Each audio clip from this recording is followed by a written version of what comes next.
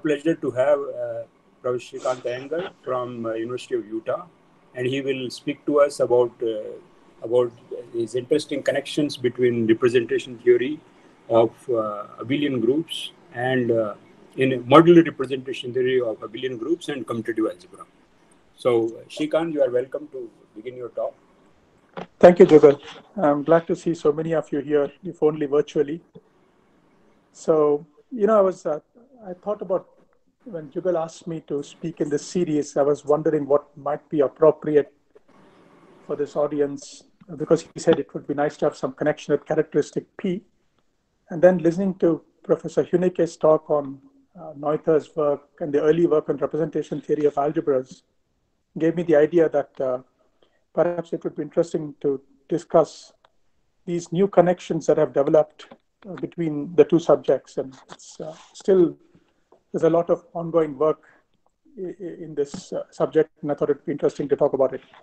So anyway, so my plan is to speak today about something called rank varieties for modules over elementary abelian groups. And uh, I hope by the end of today's talk, you will, I would have defined most of these words. So this is roughly the plan. So I'll first talk about modular representation, so what it means. And then I'll, you know, I'll tell you why it uh, makes sense to focus on the elementary abelian group case. I will define all these terms. And the third uh, aspect will be something called pi points for elementary abelian groups and then rank varieties. And uh, my idea is that I'll link this to, in the next talk on Friday, I'll link this to the study of modules over complete intersections. At least for me, when I, you know, when, when I learned about the connection between these two, things were much clearer coming from where I am. Okay, so in fact, most of what I have to say today is really, in fact, a lot, there's a lot more, in, it's based on this paper called Varieties and Cohomology Ring of a Module due to John Carlson. So really, in fact, I'm, I'm only going to be talking about a subset of what is presented here. The only difference is that I'm going to be uh, presenting the material from my own perspective, so coming from commutative algebra and also from the hindsight of almost uh, 40 years. Right? And uh, in, in, fact, uh, most of my, I've been, some, of you know that I've been working on this topic now for many years. And what I present is really what I've learned from my collaborators and here is John Carlson. Uh, he's still very active. He's turning 80 in a few weeks, but still continues to work vigorously. And then my other collaborators on this topic are this is Julia Pevtsova. Well, I'm sorry, the picture isn't so good, but you can see the mountains behind. This is Henning Krause, also by now a long-time collaborator on this. And then, of course, there's Lucho. Many of you know was my advisor and we'll be, I'll be talking about his work on Friday. And then this is Dave. So really what I'm presenting today is sort of a, a historical account of the subject from my own perspective and the perspective I've learned from these people. Okay, let's get started. So modular representation. So, uh, so throughout, uh, I'll take G to be, G will be a finite group. think of your favorite group soon the structure of the group will be simpler okay but for now so g is a finite group and be looking at representations over a field k so k will be a field and it will be arbitrary for the moment. So okay. And the basic player in this game is something called the group algebra so which is denoted kg. So this is the group algebra of the group, which as a vector space, the underlying, it's a K algebra, and the underlying vector space is just spanned by the elements of the group. So this is, uh, and it's with multiplication induced from G.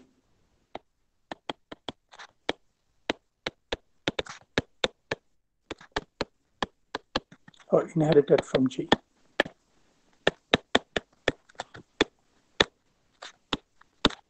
right?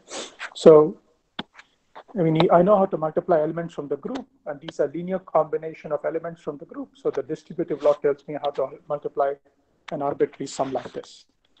And I'll identify K with the subspace spanned by the identity of the group, which is I denote one. And this is actually a subring of the group algebra. So this is a subring. And so KG is a K algebra. So it's an algebra over a field.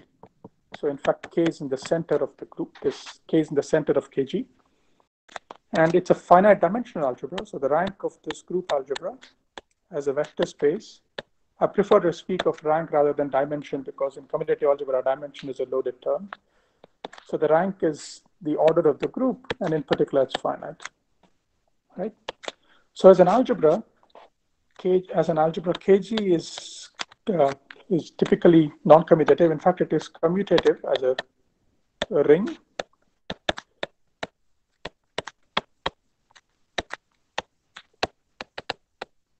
If and only if the, the G is abelian. Okay. So, okay, so it's, it's first glance, it's not in the realms of uh, our interests yet, but okay, you'll see. And, and what are representations? Representations are nothing but so representations of G.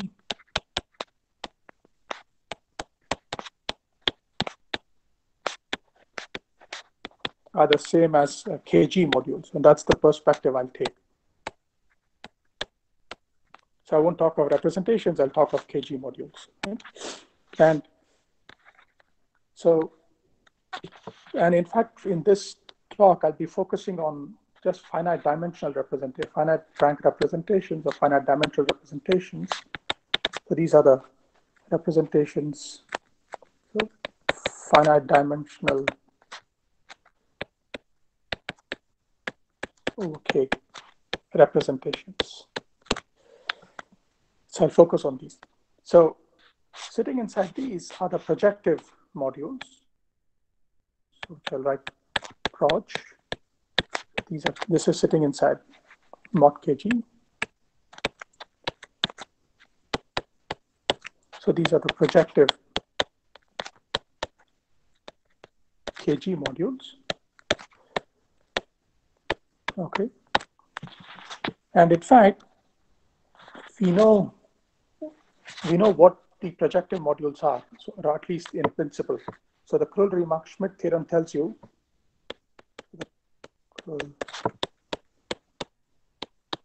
it follows from the Krull-Remak-Schmidt theorem. In fact, the Krull-Remak-Schmidt theorem says that any module can be written as a, any module, meaning finite dimensional module, can be written as a direct sum of indecomposables, and it's such a decomposition is unique up to uh, isomorphism and permutation of factors. But for projectives, it tells you that uh, all indecomposable projectives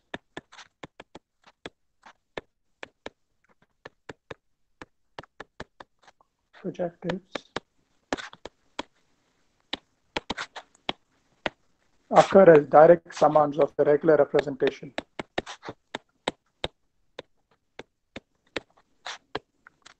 of kg viewed as a module over itself in the usual way.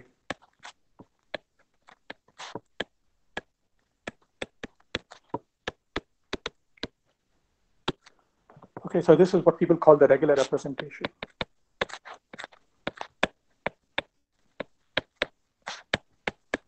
Okay, so what this implies, and so what this implies in particular, so what, you know, so you can write Kg because of the Krull-Remak-Schmidt theorem, you can write Kg as sum of, say, Pi, Ei, and say there are S of them where Pi is not isomorphic to Pj, and the ER is at least one, the multiplicities. So every projective, uh, so these are the indecomposable projectives. P1 to PS are the isomorphism classes are indecomposable projectives.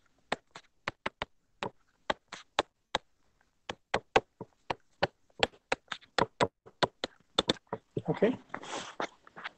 Now, so here's in, in characteristic zero or, or in characteristic of k is zero, I should, I should not put it in parentheses rather, if the characteristic of k is zero, or more generally, when the characteristic of k does not divide the order of the group, uh, the every module is projective.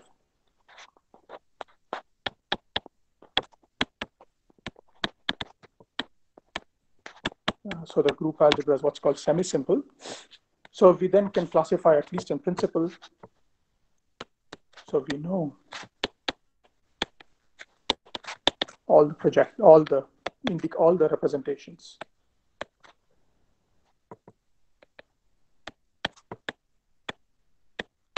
As I said, it's in principle because writing down representations of a finite group is not a trivial matter, even in characteristic zero. But anyway, things like character theory have been developed to study this. What I want to focus is in the case where the characteristic does divide the order of the group. So henceforth, the characteristic of K will be some prime P and P divides the order of the group. So this is what's called the modular case.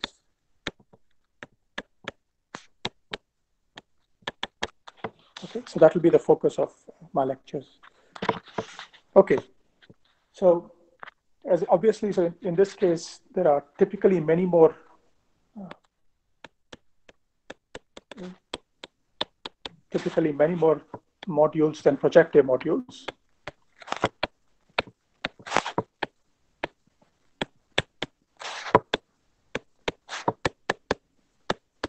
And you'll see examples in a bit. And so this brings me to the second part of the talk, namely, I want to make a, uh, the slogan here is that in this case, when you want to look at representation theory in the modular case, the, the slogan here is that uh, a module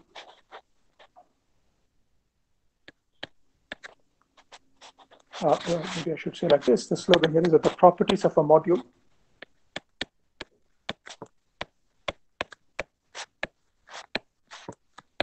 of a KG module are controlled by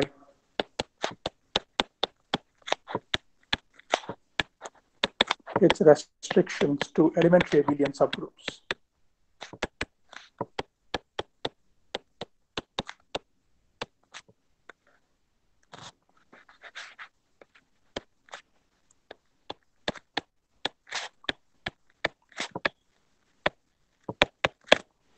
So I should explain what I mean here.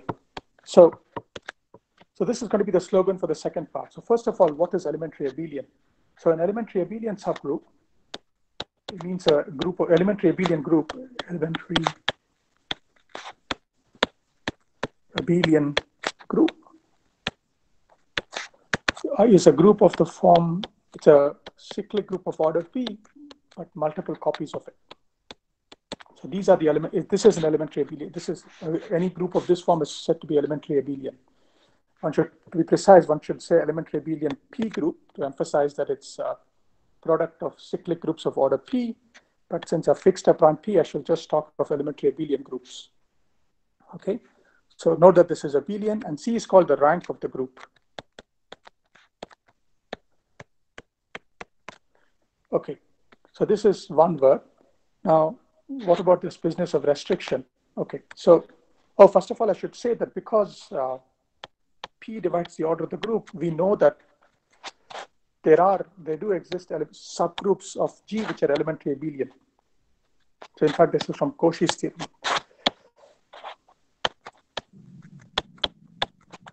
So P divides the order of the group. So there exists elements of order P, and those are, those certainly are elementary abelian.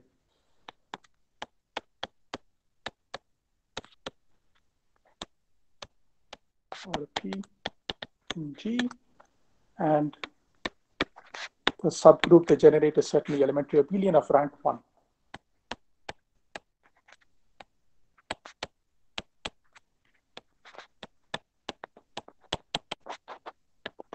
is isomorphic to Z mod P. But typically, in fact, you'll have subgroups of larger rank and the rank of the, the largest rank of an elementary abelian subgroup sitting inside G is an interesting invariant, which, which will come up later. So certainly there are enough elementary abelian subgroups sitting inside G. Or at least there are elementary abelian subgroups sitting inside G. That there are enough of them is not yet clear, but uh, which will in a bit. Okay. Now what is this business of restriction? So for any subgroup, So let's say we have a subgroup. Then the group algebra of H is naturally a subring of the group algebra of G. And if you take any module M, any KG module, you can restrict it by this inclusion and view it as a module over KH.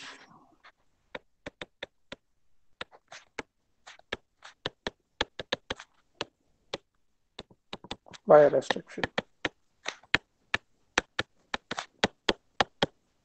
There's also sort of the opposite process where you start with the KH module and you can inflate it up to G, but I won't need that for the moment. So this is the restriction of M to H.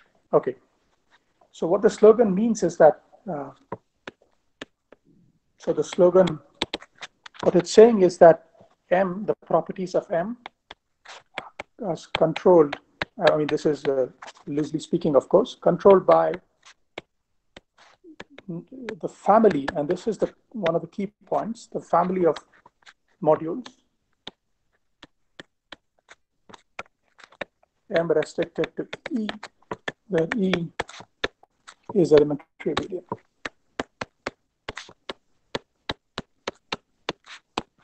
So it's not saying that it's enough to uh, restrict to one specific elementary abelian. You need to have information about uh, all of them and of course on how they're all related. But roughly speaking, this is what it is. And to sort of illustrate this principle, so here's, an, here's a theorem due to Chouinard from the 60s actually, much predating Carlson's paper. So this he's he proved that in fact he has a much more general statement. He proved that if you take M in uh, G module, this is projective. If and only if M restricted to E is projective,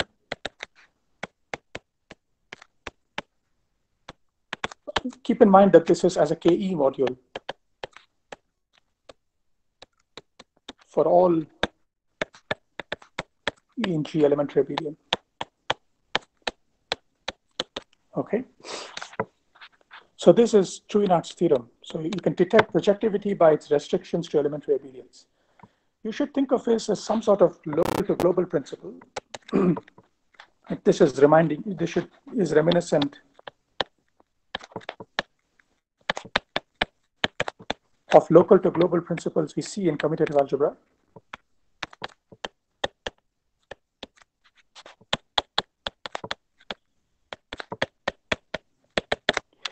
Uh, in commutative algebra or algebraic geometry. And in fact, there's a much more sophisticated manifestations of this uh, phenomena. And uh, the first one who proved results of that nature, uh, sort of, uh, this is captured in what's called Quillen stratification. I don't think I'll get to this, but anyway, Quillen proved certain results which told, which sort of makes this point that this is really a local to global statement. And I mean, discussing this will entail talking about cohomology of G and so on. Maybe that's for another occasion. Okay, so this is sort of illustrates what I meant that you can, the properties of a module are detected by its restrictions to properties of M. I should also mention here a result of Serre, which when you interpret it tells you that you can sort of reconstruct M, Serre, and then follow up by uh, who this by John Carlson, who proved that one can reconstruct. Again, this is loosely speaking, reconstruct M from this family.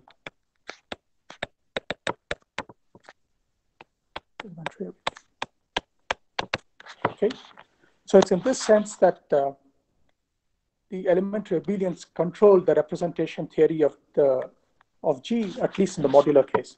So that's for that reason. From now on, I'll just drop to elementary. I'll focus on elementary abelians. So from now on.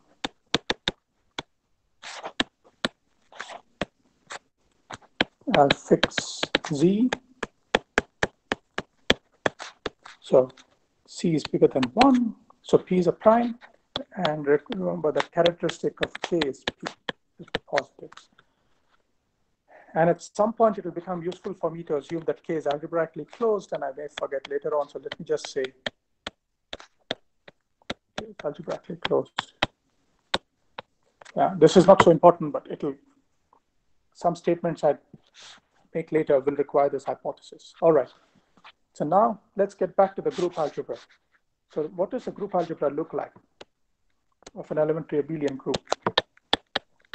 So let's suppose you can write so E is elementary abelian, so it has a certain number of generators. In fact, there are C of them. And the relations are that each of them, the pth power of each of them is one. So these are cyclic groups, and of course they commute. So, so the commutator is one. These are the relations of the group. So if you look at the group algebra, because it's so it will be a polynomial ring on these generators. Polynomial because the the elements G commute modulo these relations. Uh, Srikanth? Yeah? There's a question from Professor Kaushik. Is uh, P just the characteristic? Yeah, P is the characteristic of the field. Okay. Uh, this is what I meant here. P is a characteristic of the field. And in fact, you start with a group of elementary abelian P group and you're looking at a field of characteristic P. okay. Yeah. Uh, this will be the standing hypothesis throughout. Yeah. Uh, that's what I meant to write here, char for characteristic.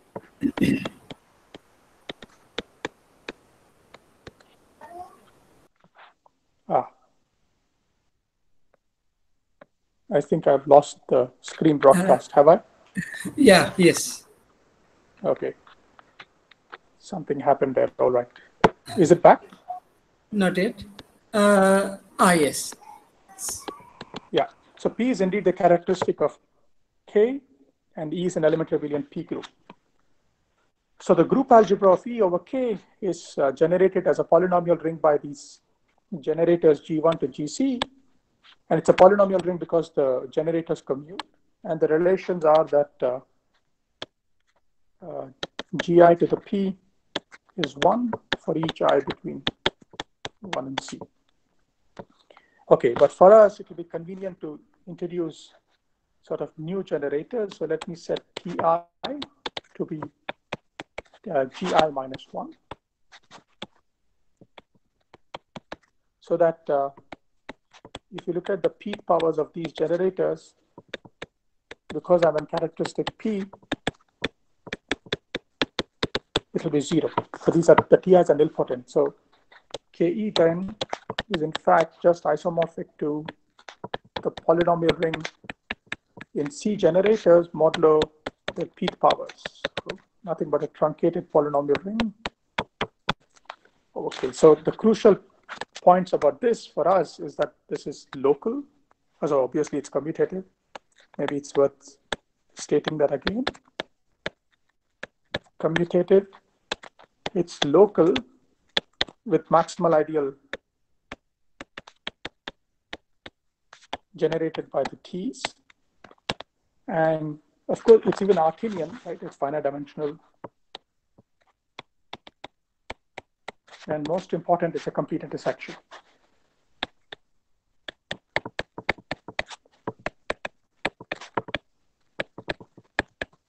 And many of the properties one knows about modules over elementary abelian groups springs from this specific property of the ring. I'll I'll bring this up next week uh, on Friday.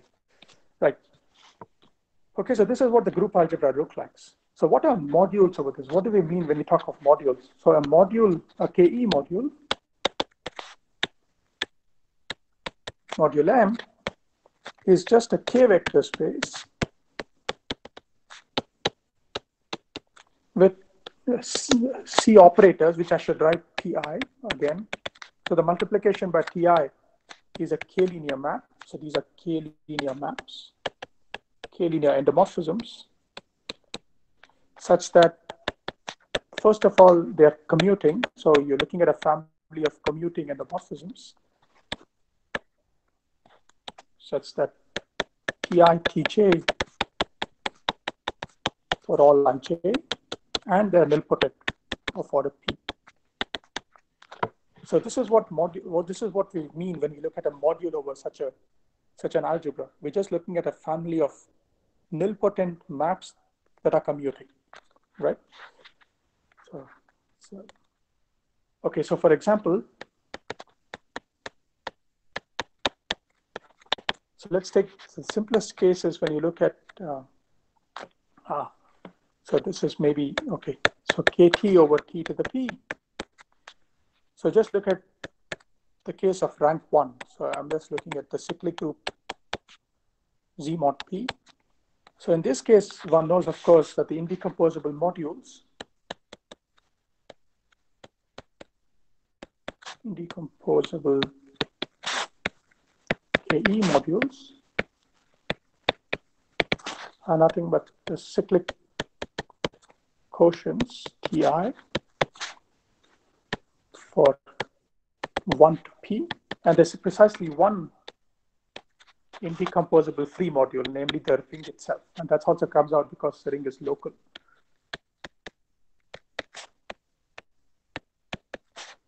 So I'm not no longer talking of projectives, we just talk of free modules because the ring is local.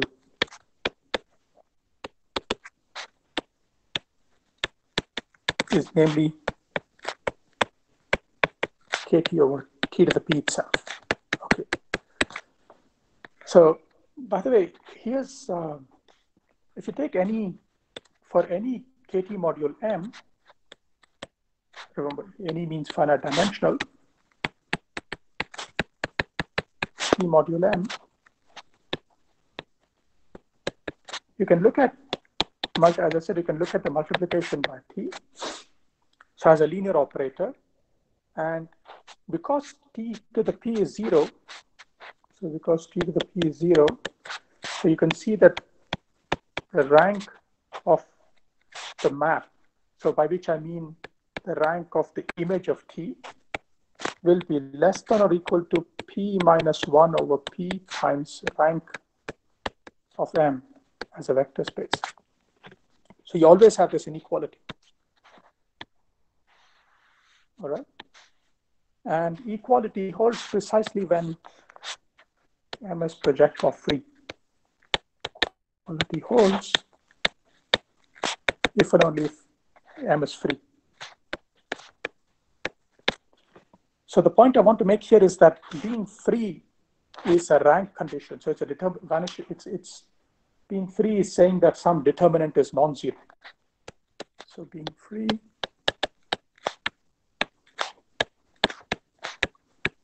is a rank condition and can be detected by determinants. You know, it's a determinant of the of the matrix representing the action of T on M. It's just say, so if, if M is free and only if this specific uh, determinant of this specific size is non-zero and can be, and freeness is detected by the vanishing or non-vanishing of certain determinants. Yeah. You have a question? Uh, Parangama is asking what was the statement about indecomposable modules? Hang on. Uh, oops, I lost you again. I seem to have lost. I think every time you pose a question, it kicks me out of the. All right, wait a minute. I don't know why. So what I was saying was, if you look at these, uh, mod, this ring kt over t to the p, uh, you know, after all, it's uh, kt is a discrete valuation ring. So we know the indecomposable module. So this is even simpler. I'm just saying that the, the only indecomposable modules over this ring are these cyclic modules. Okay, there are p of them. And there's among these, if you look at them, there's only one module which is free, namely the one corresponding to t equal to p. Yeah, okay, that's all I meant. All right, and um, freeness can be detected by this rank condition. Shall I go on? Yeah, uh, she says thanks. Okay. All right. So this is about just the rank one case. And uh, so in rank two, already things get rather complicated, but let me say a little bit. So if you look at rank two, so the second example I want to do is if you look at C mod 2, so what's um, called a Klein 4 group. So now this it's implicit now that the characteristic is 2 because I'm looking at two groups. Then the group algebra will be just T1, T2, T1 square, T2 square. So already here, have, there are infinitely many indecomposable modules. So for example, so here's a family for any, take any point A, B in two space, and you consider the module uh, K parameterized but this K2, K3, then T1 square, the cyclic module defined by A, uh, AT1 plus PT2. So these are cyclic and hence indecomposable, and these are distinct as well. So actually, it just depends on up to rescaling, you get the same. So you get this gives an infinite family of modules.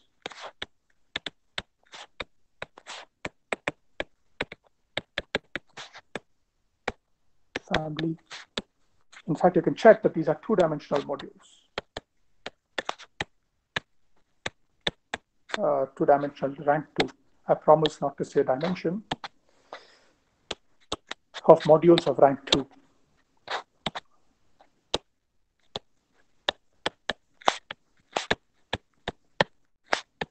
Okay. Okay, and these are all non-isomorphic.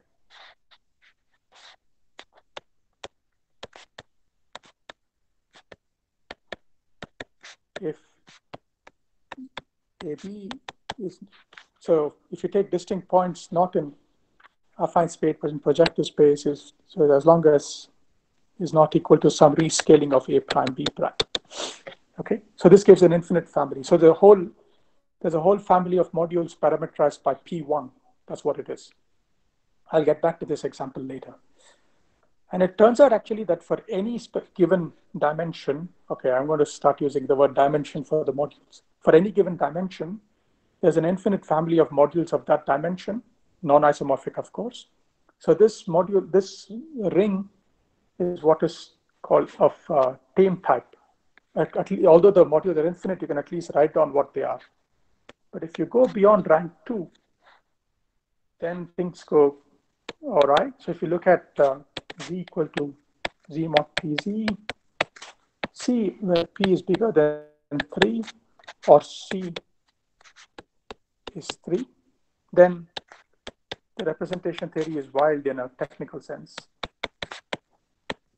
The okay. So it's no longer reasonable to write down, try to write down all the modules over such rings, over such algebras. Okay, so one needs different methods to understand this. So this gives me, gets me now to the sort of the third point. Right? So the idea that, uh, that Carlson had and was to try and study uh, modules over KE. Remember, KE is this group algebra the truncated polynomial ring by looking at restrictions to subrings of this, no, no longer just subgroups, but subrings of KE. To explain what I mean, I'm going to borrow some modern terminology to explain this. So let, let alpha from K, look at the ring KT over T to the P to KE. So let this be a K algebra map so map of K algebras.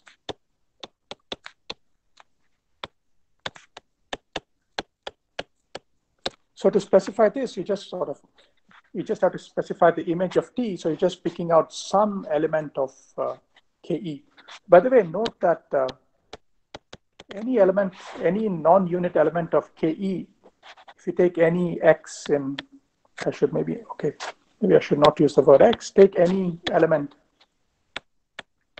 any non-unit in Ke is pth power is zero.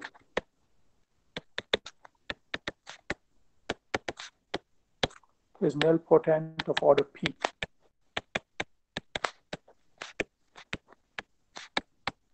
Right? Again, because we are in characteristic P. And the pth powers of the variables are zero. So specifying such a map is just tantamount to picking out one element of K. Any element will have pth power zero, so it defines a map like this. So such a map of K algebras is a pi point. So this is due to this language is from Eric Friedlander and Pevtsova. So alpha is a pi point. If alpha is flat as a map. So i.e. KE is uh, is flat as a module over flat, equivalently free as a module over kt over t to the p.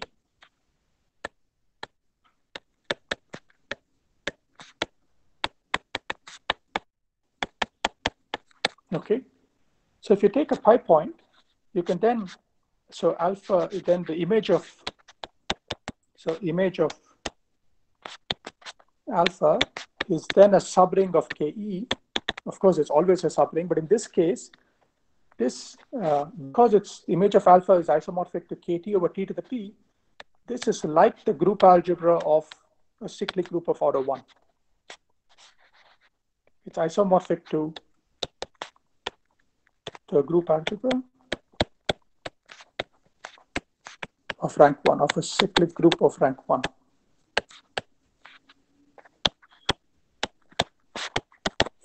Okay, so really what a pi point is doing is picking out various subalgebras of KE that are group algebras of cyclic groups of rank one. For this reason, they are called cyclic shifted subgroups.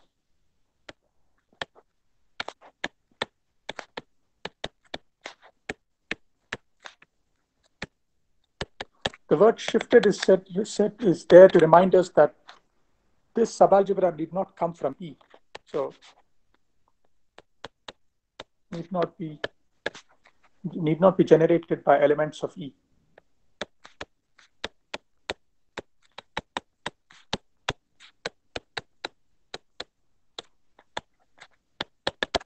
Yeah, so it need not come from, if, of course, if you take a subgroup of E, a cyclic subgroup of E, that will give you a cyclic shifted subgroup, but there are many more.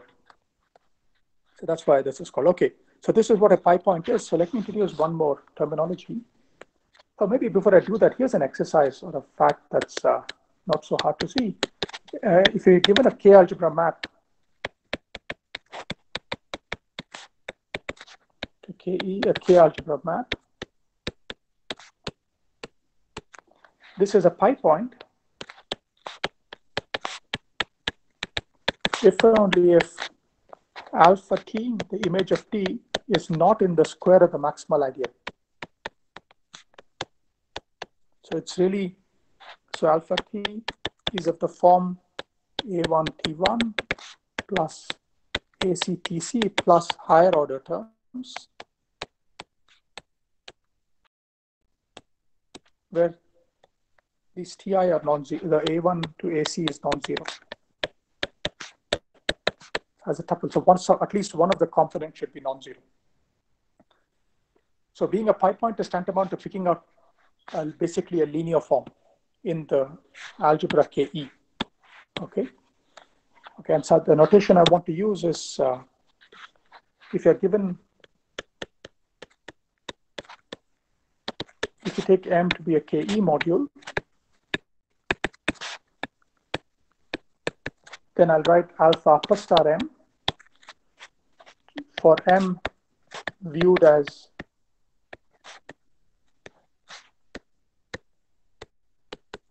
module over kt over t to the p via alpha. I mean, to be consistent with the earlier notation, I should have just used m restricted via alpha. Just to remind you that it's you're thinking of m as a module over kt over t to the p. So maybe I'll do that. From I, I will write it like this. Although the in the literature this is the notation you'll see, but this is also suggested. All right. so let me just summarize. So what we're doing is you look, we have this group algebra, and so in summary, so we have this group algebra KE, and you're looking at the a pi point is nothing but a map of a map of K algebras that is flat, flat map. Okay, and the interest in these is because of what's called Dade's lemma, proved in the 70s. That if you take M to be a KE module, then M is projective or equivalently free if and only if M restricted, this is free for all pi points alpha.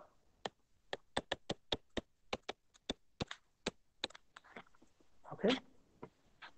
So this, so what it's uh, lemma is saying is that you can detect projectivity at least of a mod KE module by restricting to cyclic shifted subgroups.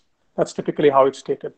I, I hope you notice that the formulation is very similar to Chouinard's theorem, which allowed us to go from general groups to elementary abelian groups.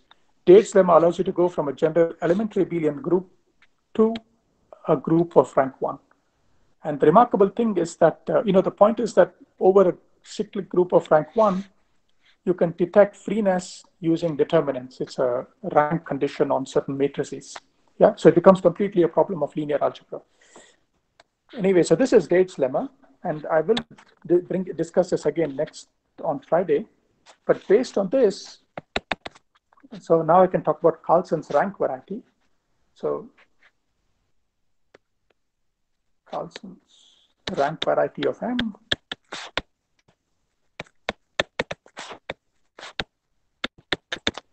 So I'm going to focus on uh, specific uh, pi points for any for any tuple to AC in its uh, on the affine space, consider the pi point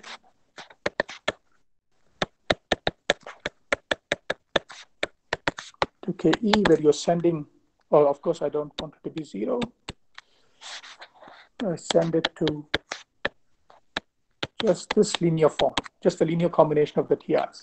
So this is a pi point.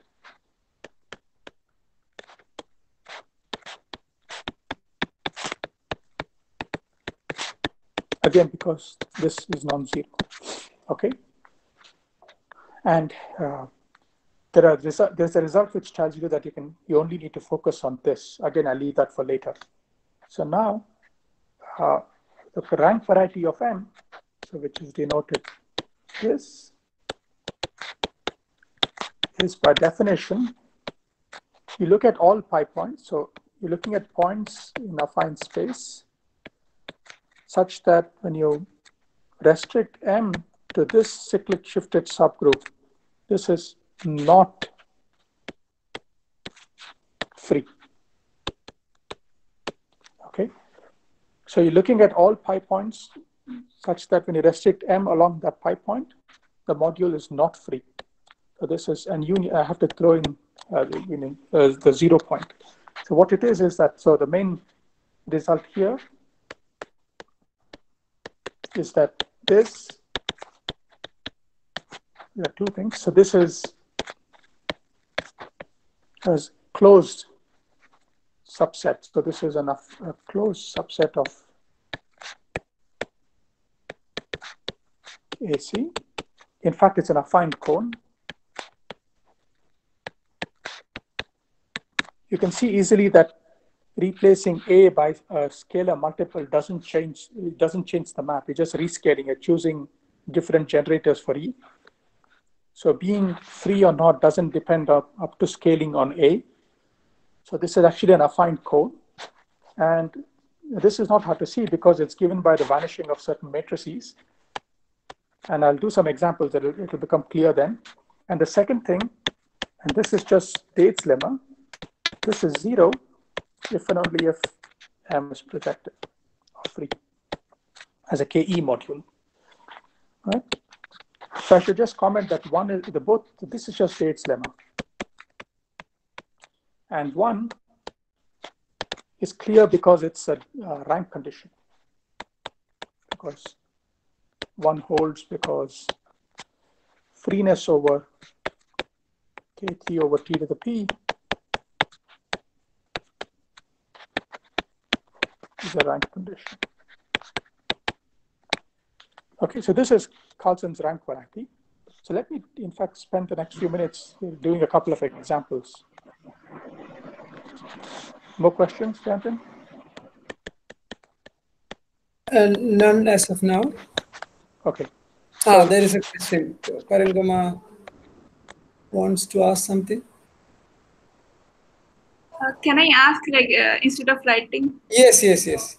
Uh, so, um, all pi points, uh, uh, those look like as uh, this A alpha type, Yeah. alpha A type.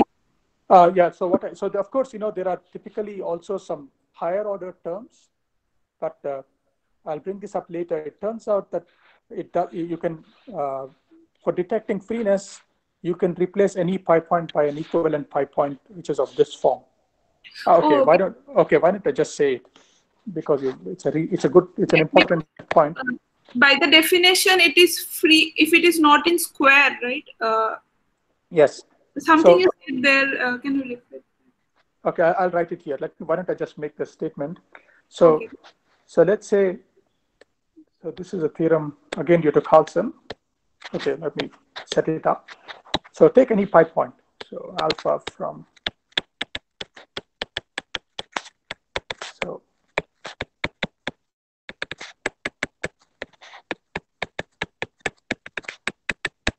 any pi point. Okay, so we know that therefore, so you can write it, there exists, then there exists unique, there exists an A which is not zero, and this is uniquely defined, such that alpha of t is some linear combination, is this specific linear combination of the linear forms plus higher order terms. meaning terms in the square of the max- maximal ID. All right. So then, of course, associated to it, you also have the pi point alpha A. So we have alpha, and we have also alpha A, where you can look at the pi point where you throw away these higher order terms. And what Carlson proved is that M restricted to alpha is free if and only if M restricted to alpha A is free. Okay, so when you are looking at these varieties or you're looking at Dade's lemma, you don't have to worry about the, you can, you don't have to look at all pi points. You just look at quote unquote standard pi points, the ones defined by pure linear forms. Okay, in fact, that's what I'll be doing implicitly. I hope that answers the question. So, so the example, so here's an example. So let's go start with this Klein four group. So we're looking at KE, which is K T1, T2 over T1 square, T2 square. So the characteristic of K is two, all right? And now I want to look at a, a two-dimensional module, so M of rank two Okay, the same thing happened again. Jayanthan, can you see what I'm writing now? No, no, no, no. Ah, okay, now coming back. Okay, I Yeah, don't know it where is. it stopped. So, No, no, it it just it, it just went for a couple of seconds, not more than that. So I'm just looking at this uh, uh, this elementary abelian group of rank two, and I'm looking at a module, a two-dimensional module. Okay, and to specify the module, I just have to tell you how T1 and T2 acts on M. So T1 will act. Uh, so I want to fix uh, lambda in K, which is non-zero. Oh, no, it can actually be zero as well. That doesn't matter. Take any scalar. So look at the module which is defined by this action. So T1 is this, and T2 will be acting via lambda. You can check that both are square zero, and also a T1, T2 is T2, T1. In fact, they're both zero, but the main point is that they commute. Okay, so this is a two-dimensional representation of over the Klein four group. So what is the variety of this representation? So what is, how do I figure out the variety?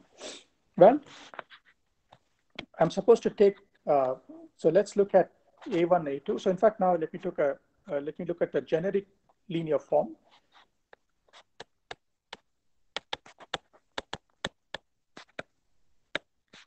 in KE.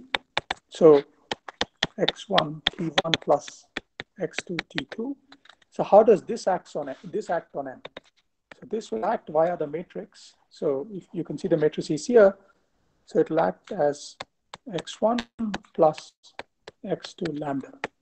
So this is the action on M. It's given by this, uh, when you restrict it to the pi point defined by uh, x1, x2. So let me put it like this. So alpha x, uh, al oh, so M restricted to x, M restricted to the pi point defined by x is the two-dimensional vector space with action given by this matrix. So it's a two-dimensional K space with action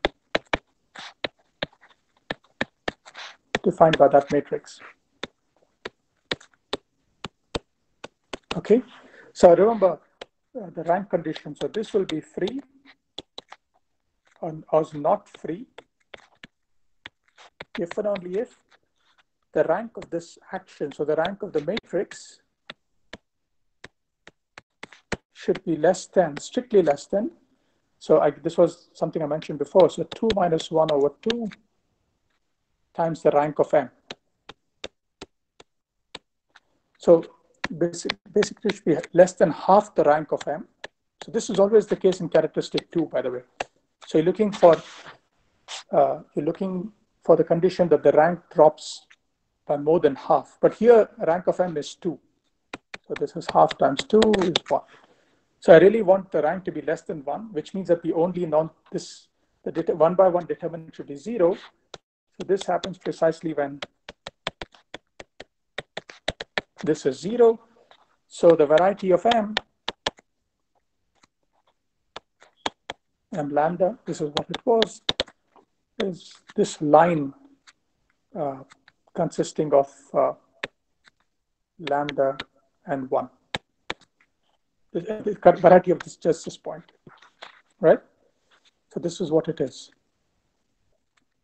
So I should have taken, a, yeah, this is what you get. So of course you can take any scalar multiple of this. So A and K. So in P1, if you look at the homogenization, so you're just looking at one point, lambda one. So the variety is just a single point. If you think of it, the variety as a subset of the projective space. So this, oh, by the way, this tells you in particular that for different lambda, you get different modules. So this is the rank variety of m lambda. So I, I intended to do one more example, but maybe I'll leave it uh, as an exercise and, and I can tell you the, or we can begin with it next time. So here's the, here's the example. So I could actually write it down. So you look at, uh, so you look at so you look at the elementary abelian group of rank 3, of rank of 3 over a field of characteristic 3. So now the characteristic of K is 3. And I want to look at the vector space. Oh no, this is actually, I want to look at uh, 2. So this is a group of order 8.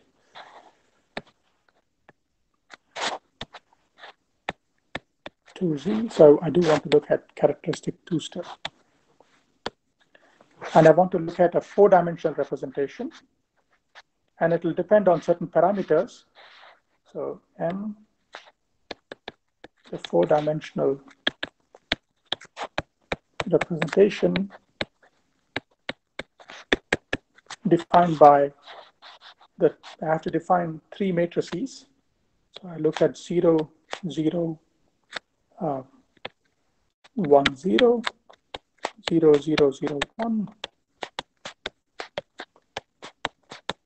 So this is T1. So this is T, then T2 will be 0, 0, and you pick some parameters, say A0, 0B, and T3 will be, so the action of the third variable will be, oh, C.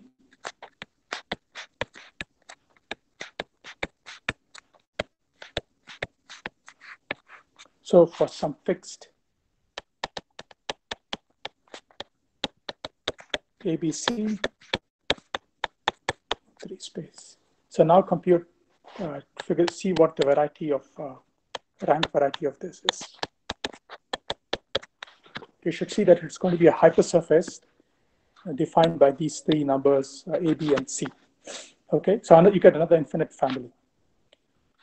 So maybe to wind up, I should say, I mean, you can ask what information, so the kind of questions you might be interested in is what information does, what sort of information does the rank variety possess about M?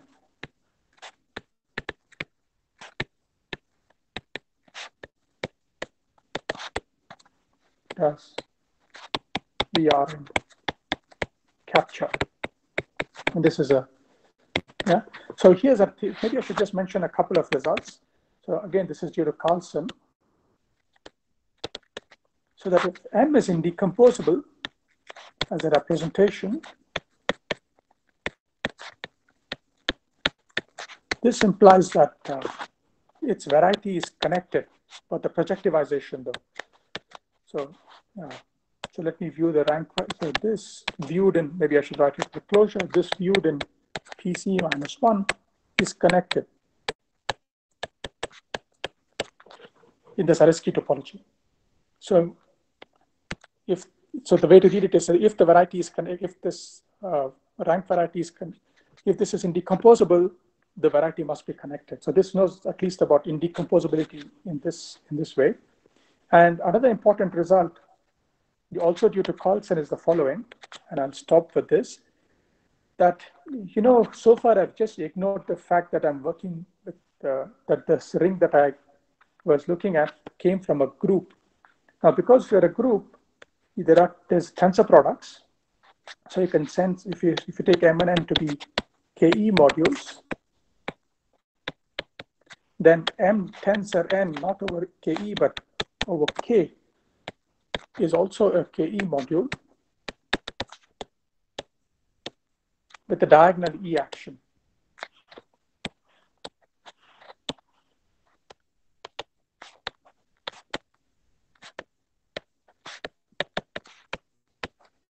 So let me now say it in terms of the gener action in terms of the generators of the group. So where G M tensor M is GM tensor GM. So where G is you can translate it to an action in terms of the algebra, but this is what it is easy. It's easier to state for the group. So this is special about this. Uh, this is what is special about club complete intersections coming from group theory that they actually have a co-product. So they're actually Hopf algebras, finite dimensional Hopf algebras. Then Carlson proved that the variety of the tensor product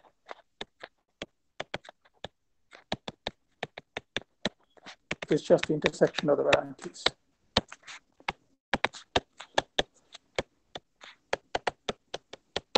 Okay, so using this, you can you can show that uh, as a corollary and I will discuss this further next time. As a corollary, you see that any subset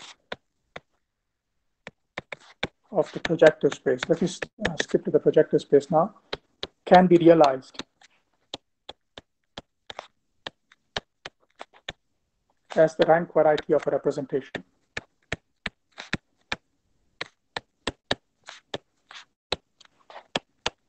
Representation. You know, as an exercise, as you know, I can recommend that you think about this in this specific case where you look at this uh, uh, uh group, group of order eight, elementary abelian group of order eight, and if you compute the variety of this, you'll see that you pick up hypersurfaces in P2. And once you have hypersurfaces, you can use the tensor product theorem here to cook up any variety. So at least over, uh, so you can demonstrate this. You can prove this for, prove this directly. So using Carlson's result for Z mod 2Z, group of order 8. You can do this, once you know, you can realize hypersurfaces, you can write any subset of P2 or any, any projective space as an intersection of hypersurfaces, and then this Carlson's theorem tells you those are all realizable. So I'll say more about what these variety, what, uh, what it, what sort of information the variety captures in, on Friday. I should stop now. I've gone on for long enough.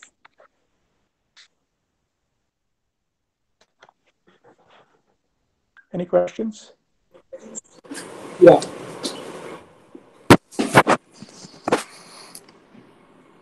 Yeah, now audience can ask questions by opening their mic.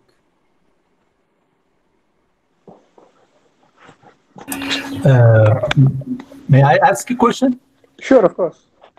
Uh, thank you for uh, your nice lecture. Uh, in the beginning, you said that uh, a module M over kg is projective if and only if its restriction to yes. abelian subgroups are yes uh, projective. Is the same result holds for injectivity or some other properties? Uh, so the thing is, you know, KG is a Frobenius algebra. So uh, oh, yes, projective yeah. and injectivity are equal. Yeah, yeah. How about the decomposability?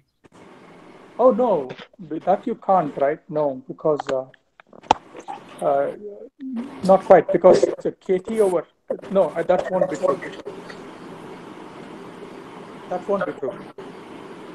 That cannot. Thank you. No.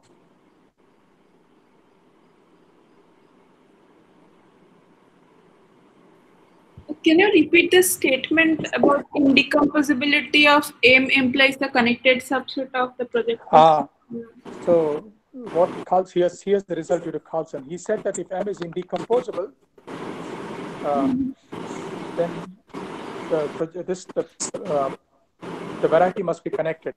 So to put it in the other way, put it another way, if you can write, so if you can write the projectivization, otherwise you have to be a bit careful because zero is always in any rank variety, right?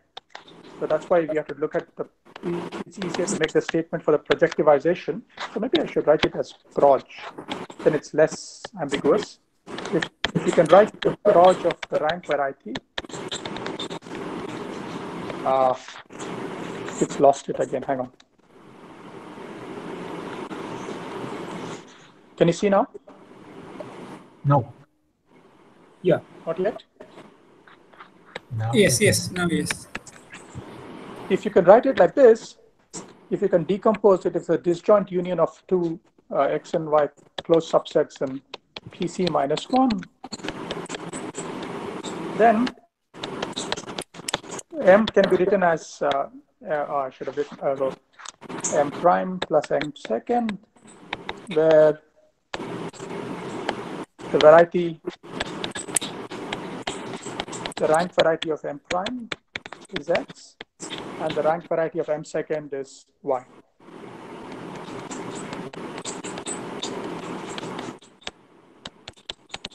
So this is what Carlson theorem says. If you can decompose the variety, you can decompose the module. So and, the converse uh, cannot be true. No. Huh? No, okay, continue yeah, you cannot expect the converse to be true because you can take m plus m and that will have the same variety as uh, sort of, you know, the, converse doesn't hold.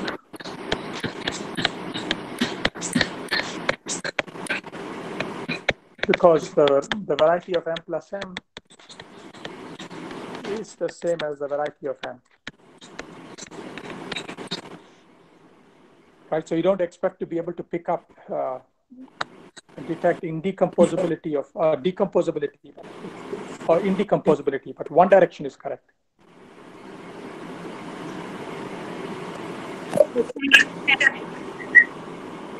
But then you said that uh, any uh, subset, uh, where is that statement? That corollary, any subset of PC minus one Yes, yes, can be uh, think of as a uh, rank variety of a representation. correct. Uh, In fact, you can you can even choose it to be indecomposable.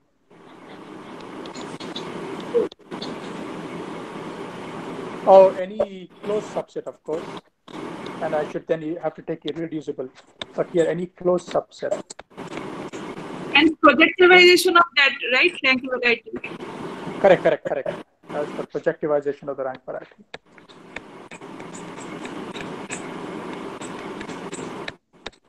Correct. Of course, you know, for this statement, you can just as well work higher because you only get affine, you only get affine cones. You're better off working over the projective. The statement is correct over the projective variety, yeah, not rank, not the fine version. Thank you. Sure. Sure. Yeah, so the other properties of varieties, like suppose you get smooth variety, does it say something about the Ah. representation? That's actually very interesting. Uh, so you can ask. Uh, so there are yeah. So you can ask what, as I said, you know, the basic question is what the variety says about uh, representation and vice versa, and sort of maybe the. I don't know the answer for smooth thing. I don't know that there is a clean answer there. But one does. Uh, Mhm. One can ask. So there are, for example, you can ask what does it mean that mean that two representations same the same variety.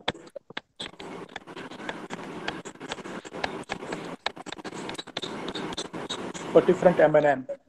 And this uh, basically, uh, there's a, this is again due to uh, Benson, Carlson, and Rickard. They proved that.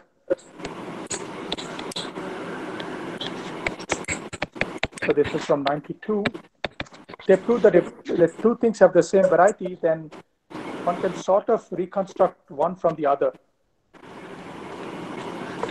You can construct uh, M from M and vice versa using, uh, you know, taking syzygies of uh, syzygies, right? So taking so syzygies and uh, direct sums, finite direct sums, and direct summands, and most important extensions.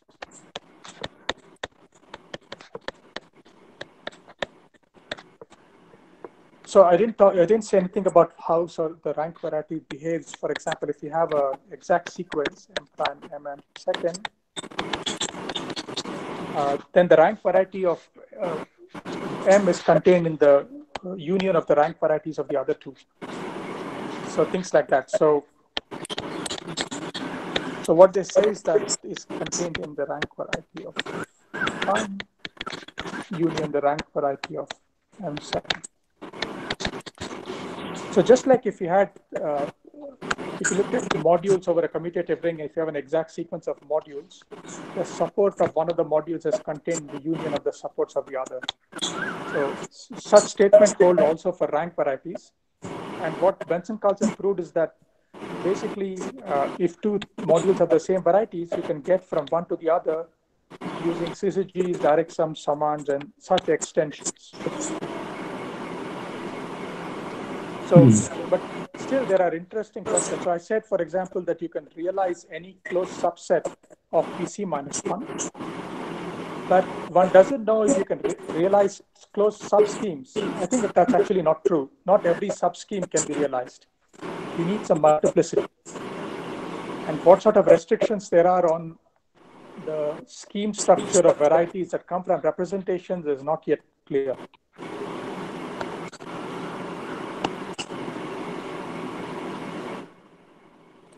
Okay, so there, there's a question from AJ Parameswaran. Uh, Parameswaran, can you ask your question?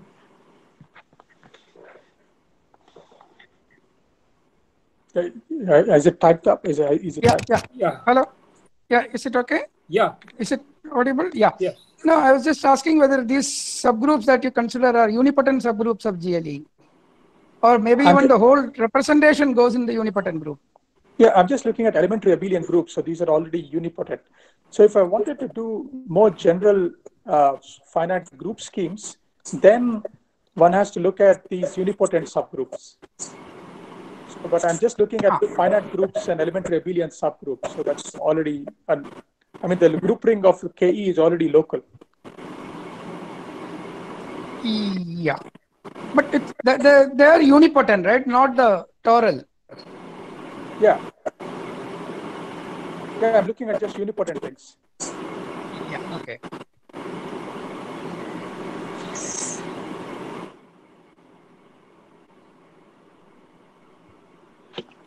Okay. Thanks. Sure.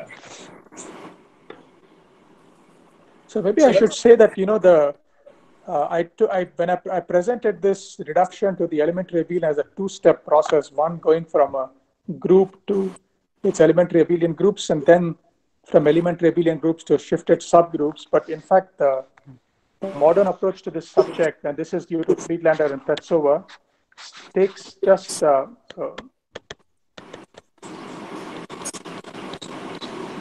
and Pevtsova. The one that's pioneered by them is just to look at all flat maps from kt over t to the p to kg flat or g any finite group or even finite group scheme. Oh, but in this case, you have to put some condition that the image lies in a unipotent uh, subgroup scheme of G.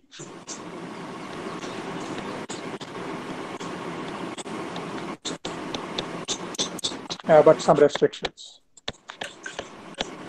So one can actually develop the theory in one shot without having to do this two-step reduction to elementary abelians. You can talk of pi points of finite groups, and then you can talk of defining varieties for pi points. This is a bit more complicated, but you can then talk of defining varieties for arbitrary finite groups. I only did it for uh, finite group schemes, but you can do rank varieties for arbitrary. Uh, sorry, I only did it for elementary abelian, but one can introduce rank varieties for any group.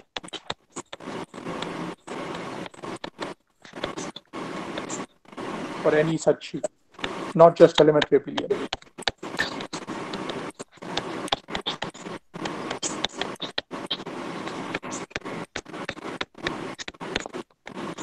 So that's sort of the modern approach to the subject.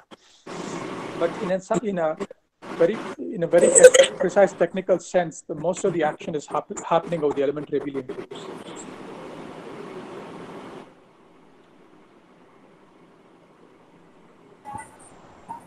Yeah, we have a question from uh, Dipen Prasad. Uh, Dipen, Sure. can you can you Uh, ask your question?